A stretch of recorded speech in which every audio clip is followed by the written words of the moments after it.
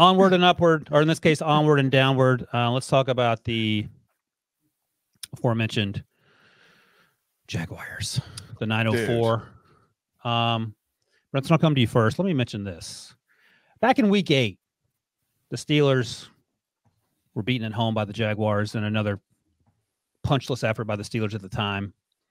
Since that, victory for Jacksonville. They have gone three and six. And Andrew Wingard was seen on the sidelines waving the terrible towel, disrespecting it like TJ Houshmandzadeh did back in the day, Breech, when he shined his shoes and they blew up in his face. Andrew Wingard had a Houshmandzadeh curse put on him. They went three and six the rest of the season, including one of the most demoralizing losses I can recall in week 18, discounting the way that Carson Wentz and the Colts lost in week the last week of the season a few years ago. I had to watch that game because I was interested as a Steelers fan. And uh, as I joked, Ryan Tannehill is a wild ride to have to pin your hopes and dreams on. Mike Vrabel deserves a raise. Derrick Henry did a fantastic job dragging that team, and so did Tyjae Spears. And Brinson, I'll come to you. Where do you start with all the problems that have beset a Jaguars team that many people uh, thought had an MVP candidate in the quarterback and had a chance to? One of you said that they had a chance to have the best record in the AFC, I believe. Yeah, absolutely. That was one of my bold predictions. Um, they lost to the Niners. So the Jaguars start the season, beat the Colts by double digits, lose to the Chiefs to the Texans. Texans game was weird. Turns out not as weird. Texans are good. Win five straight games going into their bye. Get absolutely blitzkrieg by the Niners coming out of the bye.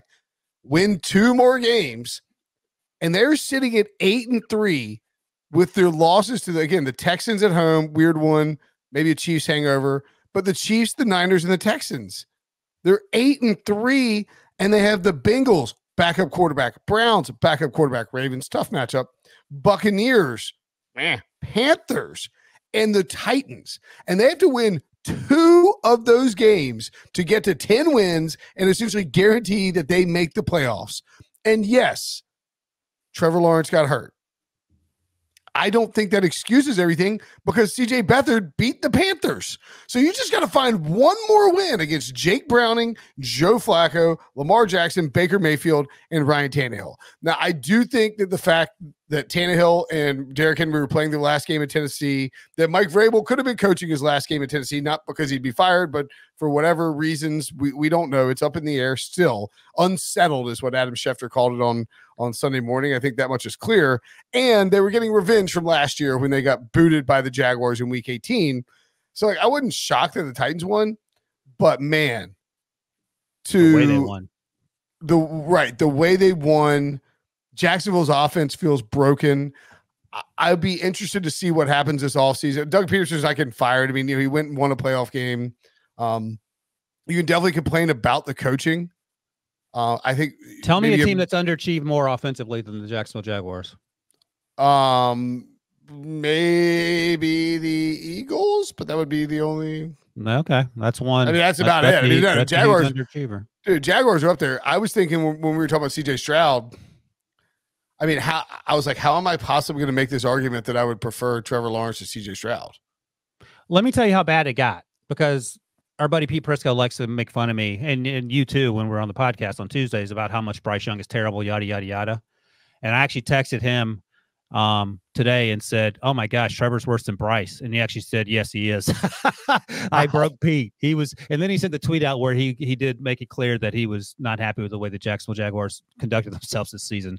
But for him to not even put up a fight, which is not very Pete like, tells you where he's at on. on should, should the Jaguars fire Pete from the the team's radio show because he cursed them by putting them in the Super Bowl? They better hurry up because I think on Monday morning, uh, on Monday show, he's going to have some some some words to say. Well, I think Trevor Lawrence. Trevor Lawrence was a huge problem down yeah. the stretch. I mean, you look at what happened. Hey, look, and and uh, Harry throw up the graphic just as I say that. How do we feel about Trevor Lawrence? That's a tweet from Chase Daniel. And look, it has not been good. He ended this season with 21 turnovers. 10 of those came in the last four games. Jeez. He threw three interceptions in that loss to the Browns. That was a big reason why they lost. He threw two interceptions against the Buccaneers in a game where it felt like on paper they had more talent, but they got smoked. And then the Ravens game, he had that bizarre fumble where the ball just fell out of his hands when they were at least in min- minimum in field goal range. Maybe they don't get he a touchdown. Maybe they get stopped. He did need to play in that Browns game after the after that injury in the Bengals. He needed to sit out a week. I think. I don't know if it changes the trajectory of the season, but like he was way too injured to be playing, and I think that certainly affected the offense. This is also an offense that is not like they don't throw vertical. I mean, he had a great vertical pass to Calvin Ridley in this game, but but he also had one that he totally missed to Calvin Ridley that could have won the game or tied yeah, it. It feels like this offense is more dink and dunkish than it is verticality. I sort of well, when your quarterback can't hit the target, and he had two to Breech's point, he had two terrible interceptions. Like Breech could have made those throws. He overthrew a stop route mm-hmm. on third and short. You said you could throw the ball 40 yards. And he had a couple true. of those where he had his guy was running a stop route and he overthrew it and it, the ball sailed out of bounds. It just he was erratic today and he struggled with his accuracy. But you know, he didn't practice for much of the week. He was dealing with shoulder injury. So there's a lot of things to that. But if you're going to play, you know, your team expects you to put you in a spot to win. And, and it didn't feel like Trevor did that.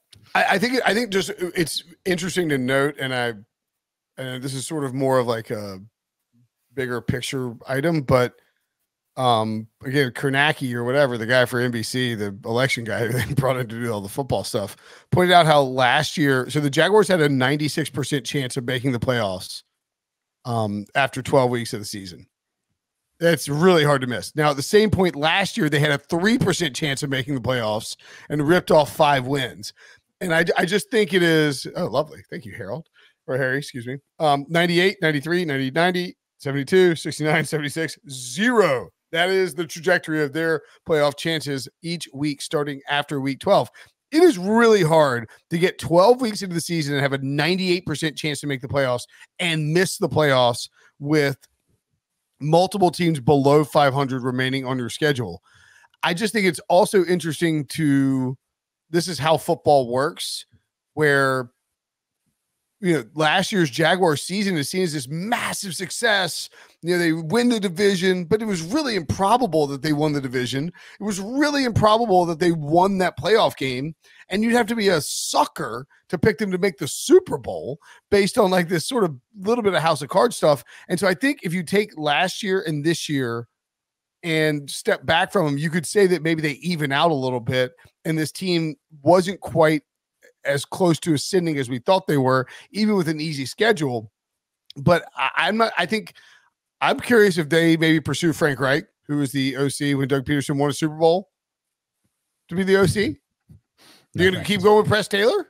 No, I mean, well, I don't know if that's the answer, but I don't think you go backwards. I'm just saying Frank, the, the, Eagles won the Super Bowl with Doug with Frank Reich as a there are a lot of concerns uh, from people in Philadelphia and in Jacksonville how Frank Reich is, uh, excuse me, Doug Pederson is coordinating up this offense, calling plays. So I think they yeah. they have to take a long, hard look at, at everyone on that tree, and maybe go look at another tree that rhymes with uh, Mon McMay or Mile Manahan. Well, I mean, saying. Doug Pederson, Doug Pederson's not going anywhere. He won a playoff game last Doesn't year. Doesn't have to go anywhere, but he he can let someone else call plays because there there have been some rough patches, and you talked about the, exactly no doubt about it the rough patches. So I mean, look, I don't. Frank Reich seems like a swell dude. I don't know if his future is going to be. Uh, maybe he should take some time off at the lake house and just just take some time, like Leslie Frazier, take some time to reflect. And of course, Doug Pederson's not going anywhere, Brent. I mean, th- he just finished two winning seasons in a row with right. Jacksonville. Do you know how many coaches have done that with Jacksonville? Tom, Tom Coughlin and uh, probably uh, Jack Del Rio. I bet Jack Del Rio may have done it. The yeah, last Jack time was did it, yeah. Jack Del Rio, 2004, 2005. So literally, Pederson just did something the Jags hadn't seen in 17 years, 16, 18 years.